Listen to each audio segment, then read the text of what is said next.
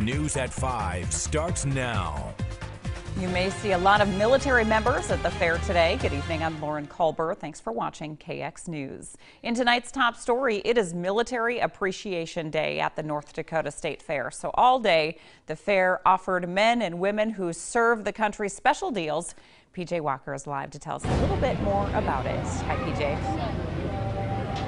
Hi, Lauren. Fair officials wouldn't be surprised if over a thousand members of the military showed up today to the fair. Now, they enjoyed a free meal earlier, and I talked to one person who says it feels good to have a day where him and his family can come out and enjoy. Uh, it, it really shows that people actually care. You know, you walk down the streets and people say thank you for your service, and that's that's great, and it's good, and it really, you know, makes you feel pride with your country. But when people actually put their money where their mouth is and, and, and really show that they care. Now, Lauren, the free lunch was not the only thing that military members could enjoy today. There are coupons for discounts at the gate, and there, there are reduced tickets for the bull riding event tonight. Back to you. Hey, they deserve it. PJ Walker reporting live. Thank you.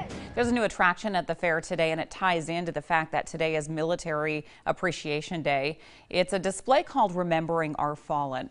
Noala Fritz started this collection of photos and information about more than 5,000 men and women who've died in the global war on terror. Her son was a prisoner of war who was executed near the Iraq-Iran border in 2007. His loss and his service to the nation, doing what he loved, moved her to start this traveling museum that local volunteers helped erect this morning. Fritz says among the 5,200 photos are those of 167 women who died in combat. It is all ranks and it's all ages.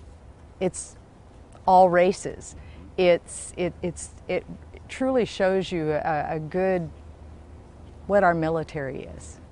Remembering Our Fallen will be in front of the State Fair Center through the end of the fair.